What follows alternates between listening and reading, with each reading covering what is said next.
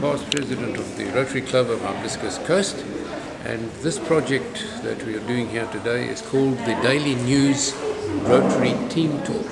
Our club has been involved with this project for nine or ten years, but the project itself has been running for over 38 years. We here in Hibiscus Coast Rotary Club run a heat every single year. The heat uh, this year is contains seven schools, but between 80 and 90 schools take part over KwaZulu Natal.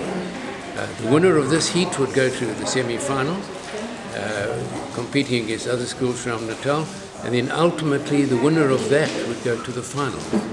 The prize given by the Daily News is 25,000 rand, but it doesn't go to the winner of the competition. It goes to an underprivileged school nominated by the winner of the competition. So it's an unusual competition. We, however, give prizes to the winners here. We give it to the leading school and to the second school. We do give small prizes to appreciate the effort. But it's a wonderful project. It encourages youngsters to be able to talk and think about projects, and it stands them all in good stead in their future lives. Thank you.